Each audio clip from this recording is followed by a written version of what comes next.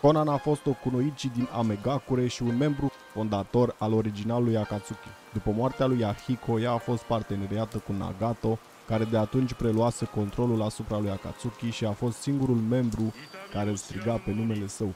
După moartea lui Nagato, Conan a renunțat la Akatsuki și a devenit lider al satului Amegakure. Când era tânără, familia lui Conan a fost ucisă în timpul celui de-al doilea război mondial și Nobi și a fost lăsată să se descurce singură.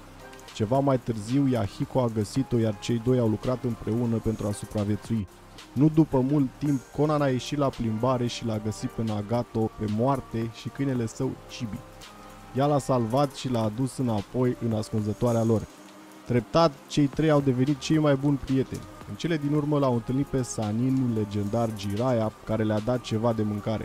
Conan i-a impresionat făcând din ambalajele de hârtie lăsate în urmă o floare elaborată în semn de recunoștință când Orochimaru a sugerat să-i omoare astfel încât să nu fie nevoit să sufere ororile războiului, Jiraiya a optat în schimb să rămână și să învețe pe cei trei cum să aibă grijă de ei înșiși. În timpul petrecut cu Jiraiya, el a realizat un sistem de apărare compus din patru scânduri, fiecare cu o parte roșie și una albă, atașate la o parte a unui perete din ascunzătoare pe care o împărțeau în acel moment cu o sfoară și un cui, fiecare deasupra unul dintre numele lor pe care le-a numit scânduri hop-in, hop-out. Scopul scândurilor era ca atunci când se aflau în ascunzătoare, își întorc scândurile spre partea roșie și pleacă și întorc scândura spre partea albă. Deci atunci când o scândură este cu partea roșie și persoana nu se află în ascunzătoare, înseamnă că ar fi putut fi capturați de inamic și când o scândură este cu partea albă și se pare că persoana se află în ascunzătoare, ar putea însemna că un inamic s-a transformat în persoana respectivă și s-a infiltrat în ascunzătoare împreună cu o trapă ascunsă printre plăcile de podea care duceau la o cameră ascunsă și la o cale de evacuare de urgență pentru orice eventualitate. După ce Jiraiya a avut încredere că ar putea avea grijă de ei înșiși, el i-a spus lui Conan că va fi foarte frumoasă când va crește și va veni să o vadă când va împlini 18 ani. Clasic Jiraiya. Acestea fiind spuse, a plecat la Konoha și cei trei au continuat să aducă pacea pe pământul lor. De-a lungul timpului, cei trei au format Akatsuki și au devenit renumiți pentru puterea și eficacitatea lor, știrile despre acțiunile lor ajungând chiar și la Konoha. Când grupul lor a devenit prea mare, au fost forțați să găsească o altă ascunzătoare și să părăsească actuala lor ascunzătoare. Când erau pe cale să plece, doi ninja din Iwa au atacat ascunzătoarea, dar Ahiko a observat la timp și au folosit cala de evacuare pentru a scăpa. Prin timpul petrecut împreună, Conan a devenit apropiată de Yahiko. În timpul celui de-al treilea război mondial Shinobi, grupul lor a fost abordat de un bărbat care se numea Madara Uchiha. El s-a oferit să-i ajute în căutările lor, dar Yahiko a refuzat oferta, bănuind că intenționează doar să-i folosească. În timpul căutărilor pentru pace, rândurile lui Akatsuki au crescut și au devenit cunoscute în întreaga Amegakure, atât de mult încât Hanzo a început să simtă că Akatsuki îi amenința conducerea, așa că s-a apropiat de grup și le-a oferit să lucreze împreună.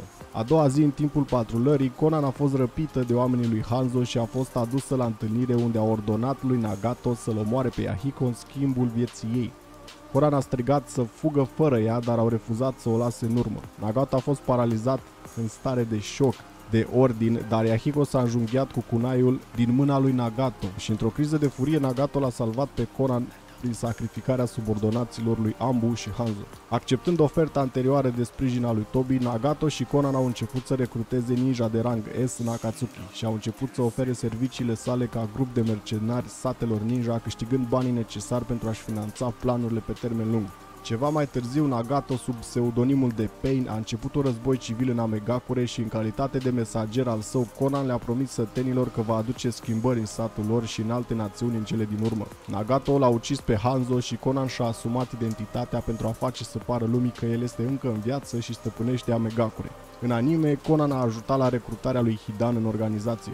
Conan era inteligentă, stoică, calmă și echilibrată, la fel ca partenerul ei Nagato.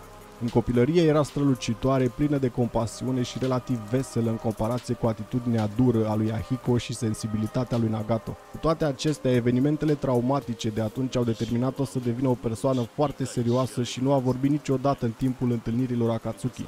Cu toate acestea, ea a pus întotdeauna siguranța colegilor de echipă deasupra ei. Conan avea sentimente romantice față de Ahiko, care erau reciproce. Părea să fie mai empatică decât majoritatea celorlalți membri Akatsuki, deoarece părea tristă ori de câte ori se amintea de trecutul ei. Ea și-a exprimat de asemenea o mare loialitate și curtoazie față de Payne, făcându-i ofertele fără îndoială, căutând bunăstarea lui și având întotdeauna o credință de plin în abilitățile sale. Ea a acționat ca intermediară între Payne și Ame. Sătenii au dat titlul de Îngerul lui Dumnezeu deoarece cu aripile sale de hârtie activate chiar semăna cu un înger. Avea capacitatea de a citi emoțiile lui Payne fără ca el să le exprime în mod facial, probabil ca urmare a faptului că l-a cunoscut de atâta timp. De îndată ce Toby a ordonat lui Payne să captureze vulpea cu nouă cozi, ea a putut spune imediat că a existat ceva în ordinea care l-a supărat foarte mult pe partenerul ei mort.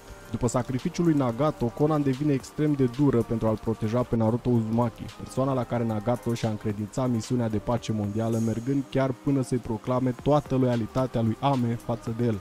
A fost la fel de acerbă în apărarea rămășiților lui Nagato de Tobi, mergând până la pregătirea pentru atacuri sinucigașe împotriva lui, dacă aceasta însemna protejarea lui Nagato și Naruto de el. În anime, Conan s-a dovedit a fi mai realistă decât Nagato, deoarece Tobi a declarat că nu se aștepta ca argumentele lui Naruto să fie suficiente pentru a o întoarce împotriva lui Akatsuki. La fel ca și Nagato, ea și-a recăpătat respectul pentru Jiraiya, deoarece înainte de lupta ei cu Tobi, ea a rememorat timpul petrecut cu Jiraiya. Ca și abilități, fiind un criminal de rang S care a crescut în vremuri de război și fiind instruită personal de Jiraiya, unul dintre cei trei legendari Sanin, Conan a fost fără îndoială o kunoichi foarte puternică. Aptitudinile ei au fost ținute cu mare respect de partenerul ei Pain și foarte lăudată de fostul ei profesor Jiraiya. Când a lăudat-o Jiraiya? Când a făcut 18 ani? De asemenea, a reușit aproape să-l omoare pe Obito, acesta din urmă supraviețuind doar datorită folosirii Kinjutsu Izanagi, acest lucru pe care nu l-a anticipat în nenumăratele ei simulări ale bătăliei lor. Te, bă, ce mă enervează Izanagi ăsta. Nu e ok, bă, deci ăsta e hex. Cituri, coduri. Te omoară ăla și tu după aia te reîntorci. Nu-i corect, că trebuie să câștige Conan. Ca și din Jutsu, transformările naturii ale lui Conan au inclus vânt, apă, pământ și eliberarea Yang, avea hârtie ninjutsu. În copilărie, Conan a avut un talent natural pentru origami. Ea va continua să o dezvolte în stilul ei de luptă, ducând la crearea dansului și kigami. Această tehnică îi transformă întregul corp și îmbrăcămintea în numeroase col de hârtie pe care le poate controla, modela și schimba culoarea după bunul plac. Ea ar putea crea fluturi pentru a aduna informații sau pentru a călători pe distanțe lungi și ar putea întări hârtia cu chakra pentru a face arme cum ar fi sulițe, shuriken și arme de tip chakram ar putea să-i rețină pe adversari acoperindu-i în hârtie și să-i asfixieze dacă dorește, ar putea face clone de hârtie pentru a lupta în locul ei și chiar ascunde etichetele explozive în interiorul lor pentru a prinde un inamic pe neașteptate. Era fain la ăștia că, uite, dacă foloseai hârtie, făceai clone de hârtie, dacă foloseai lemn, făceai clone de lemn și tot așa. Potrivindu-i titlul de înger, Tenshi a reușit să-și formeze aripi de hârtie pe spate. Acest lucru i-a permis să zboare, deși a reușit să plutească fără ele. Cum o putea să plutească fără aripi? În ciuda faptului că a fost făcută din hârtie, focul lui Jiraiya a deteriorat-o când a fost lovit de ea. Deci nu... Focul lui Jiraiya nu putea să-i ardă hârtia. Ce vreau să zic aici că hârtia e foarte durabilă. Hârtia bate focul. Putea chiar să copleșească această tehnică cu lucrarea ei. Hârtia ei părea neafectată de apă, așa cum s-a văzut în timpul luptei sale împotriva lui Toby în ploaie. De asemenea, Conan a reușit să producă și să pileze suficientă hârtie pentru a imita mediul înconjurător, cum ar fi un copac uriaș care l-a folosit pentru baza de operațiune a lui Nagato. De asemenea, a reușit să-și mascheze hârtia drept lacul Amegakure, care când a fost deschis își trimite adversarul căzând într-un abis cu 600 de miliarde de etichete explozive, detonând timp de 10 minute.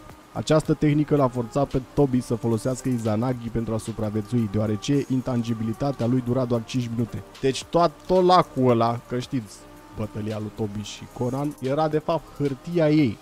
Da? 600 de miliarde de hârtii de etichete explozive chiar, care detonau timp de 10 minute. Și dacă n-avea ăsta Izanagi, nenorocitul ăsta, era mort. Ca și inteligență, Conan a avut un intelect foarte acut, deoarece a reușit să înțeleagă rapid procesul și rațiunea din spatele sistemului hop-in, hop-out pe care Jiraiya l-a creat pentru ei. În anii următori, ea a studiat tehnica spațiu-timp al lui Obito, descifrând cu exactitate modul în care funcționează și apoi a făcut nenumărate simulări pentru a găsi modalitatea perfectă de a-l ucide. Și aia era, cu hârtiile în apă. Doar că Izanagi, chiar și Tobi și-a exprimat surpriza că a fost forțat să se bazeze pe Izanagi interzis pentru a supraviețui atacului său final cu prețul ochiului stâng. Ah, fă-mă de Uchiha, că nu vă mai suport. Și odată cu povestea lui Conan am terminat și cu Akatsuki și acum o să trecem pe Neji sau Zabuza, că sunt foarte ceruți ăștia doi. Să știți că citesc comentariile și ce mă cereți o să facem în continuare. Sper să facem 9000 de abonați săptămâna asta, nu mai este așa mulți. Sper să aveți o zi incredibil de bună, like, share, subscribe aici, plouă, vremea e nasoală rău, dar asta nu ne oprește din a continua munca. He, până data viitoare ne audem. Hashtag 50.000